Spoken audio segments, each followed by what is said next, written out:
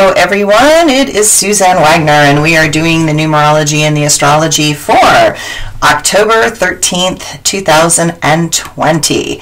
If you add all those numbers together, you get the number 9.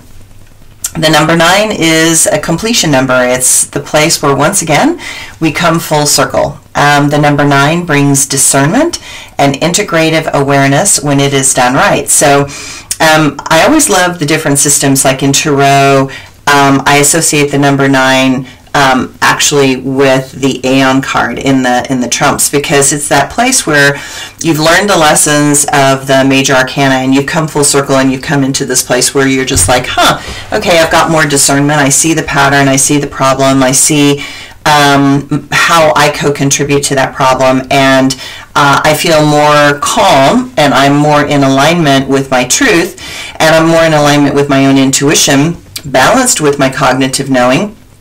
And when you have those two together, it's it's awesome. Okay, so integrative awareness, discernment um, would be the two groups of thoughts I would have with this.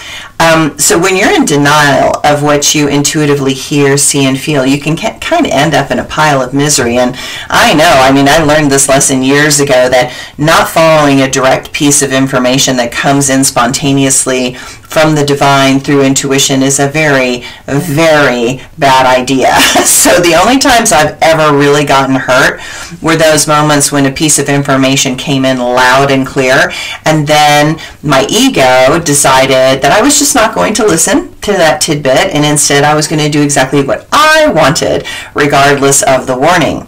I believe that we are all born with that innate intuitive knowing as a fail-safe mechanism for survival. And unfortunately, our culture doesn't allow that um, instinct to be trained as much as it probably should. And so most people don't know how to use it or how to work with it, um, especially that kind of subtle energy as it moves through our universe. And that's why today is a great day to practice. So, you know, today listen to your intuition, use your discernment, look at the lessons that you've learned in the past, notice where the, those lessons come back up. So whenever I learn a lesson, um, the universe tests me three times. And so it's kind of like, did you get that lesson? Are you paying attention? I mean, like, I'm going to put that same situation in front of you again. Are you going to fall for it a second time? And hopefully you're like, ah, I see that coming. Oh, I know that place. No, I am not going there again. And then the next time gets a little less of his test and the next time it's just like eh you know it's like i kind of know that.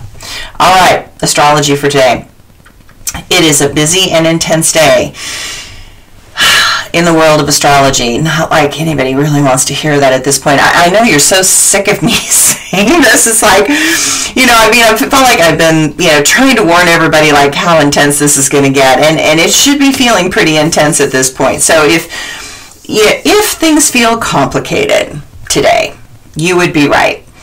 Um, the sun is opposite a retrograde Mars in Aries, and it is right in the middle of the firestorm of change. So literally, you know, the Mars, uh, the Aries retrograde is right in its middle position, okay? And um, a retrograde Mars in Aries is a lot to deal with, especially as this one lasts from June 28th through mid-January of 2021. And I'm sure you can feel the reactivity in everyone around you. I am sure you can feel that impulsive quality wanting to do various forms of battle. there is a stubborn willfulness in the air Paths feel tricky and difficult. Circumstances push you to the breaking point. It is where you have to decide what is your path and what is not. If you acquiesce to the issues of another, you will notice that your body will not let you go down a path that is not yours to follow. We are in a time where choices and decisions are critical and you are running out of time to step cleanly and clearly into this new matrix that is evolving. Right now, your awareness is elevated.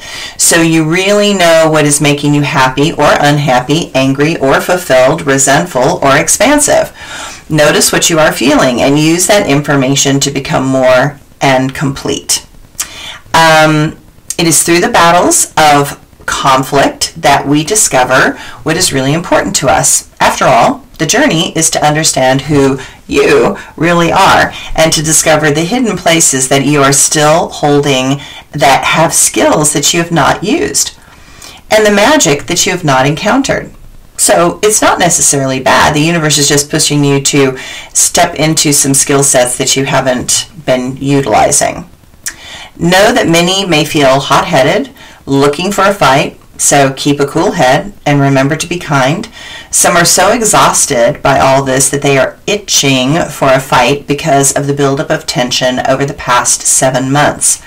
Back up your computer because in a few days Mercury is going retrograde and it can make electronics glitchy. So like already my speaker on my computer, one side speaker is off. It's echoing and doing a glitchy thing. So I, I have to order one of those separate um, uh, disc uh, microphones, you know, to, to make the sound from my from you to me if I'm doing a reading better. It's so crazy. It's like I'm like, of course, you know, something's going wrong right now.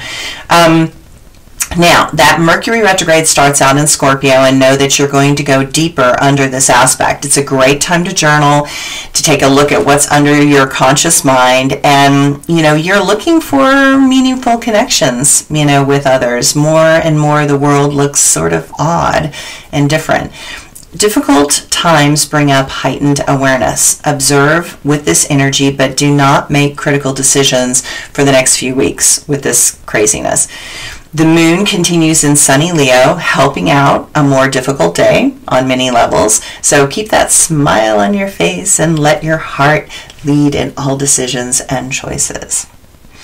Um, so I have not done a quote for today yet. You might notice that it will be on my blog and, and somewhere as the day progresses, but I'm trying to do a whole bunch of things in my garden today and, you know, needless to say, everything is happening all at right now because the weather is changing and turning and all this kind of stuff. So it's canning time, so we're, we're doing a whole bunch of things. Anyway, um, so, but my blog today.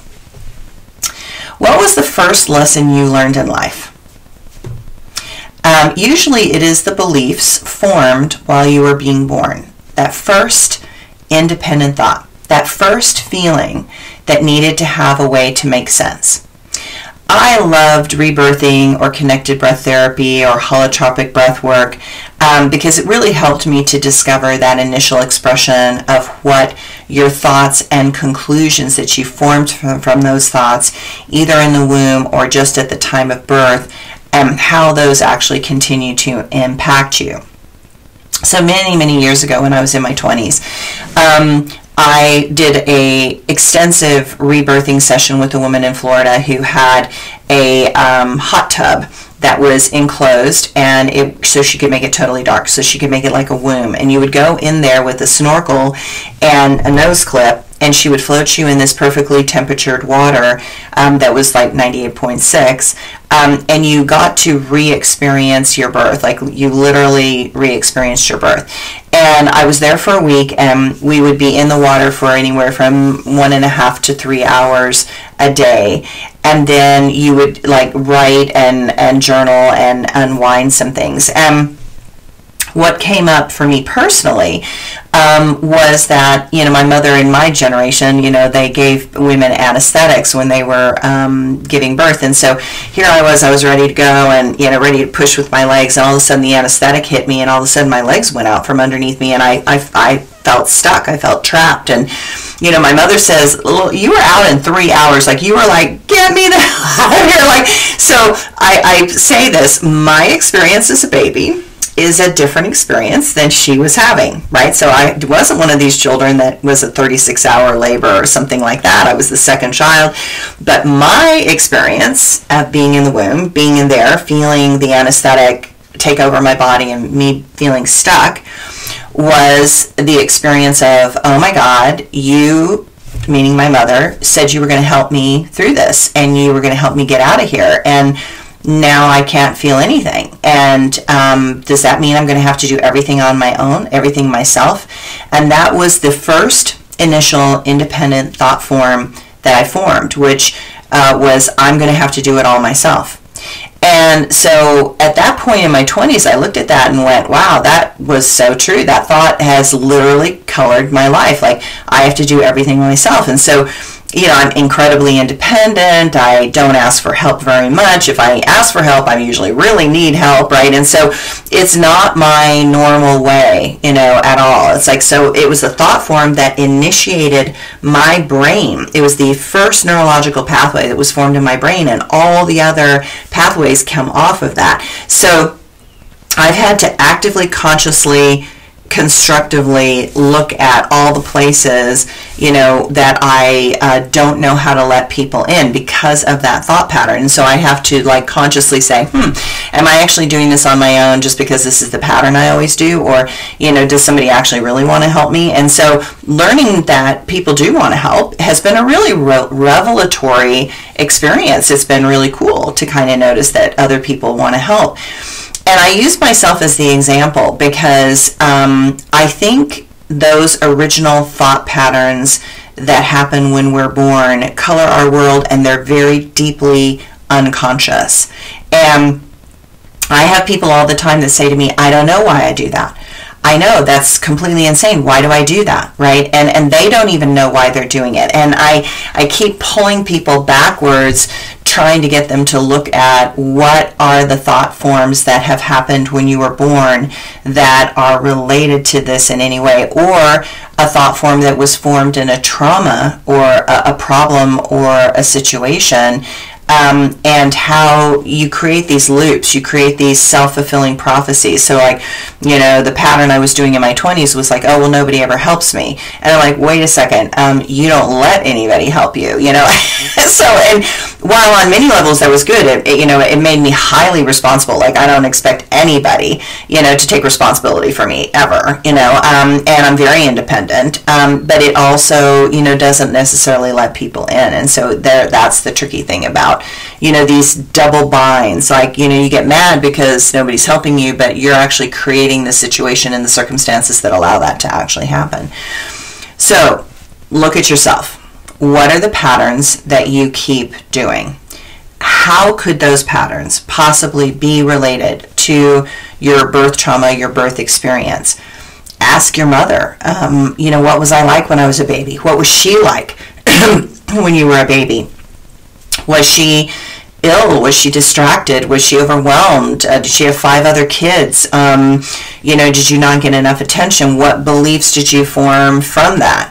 Um, and recognize how a lot of souls are running around trying to get what they didn't get, but they're doing it from a place that they're actually sabotaging it because of that belief system that was formed. And these things take a lot of conscious awareness. I mean, just FYI, you know, I mean, like I work on these things all the time. It's like, oh, I'm doing it again, right? so, so this is that place where you know, just be gentle with yourself um, because we're in a time where people have been cloistered and and in quarantine for a long time, and shit is coming up. Like unresolved issues, unresolved patterns are definitely coming up and start looking at what do they mean. I mean, the internet is great because you can go on the internet and say, what does this actually mean? You know, what what is the pattern here that's related to it? and so, you know, try to take a look at what your body is telling you. Try to take a look at what your loops in your life are trying to tell you and try to figure out where they come from, their originating point, and then try to be conscious enough so that when you start to go into the loop, that right before you hit that door, you stop yourself and go, this is going to be that loop. Let's not do that. Can we, can we do something else? Okay. Thanks, everybody. Have a good day.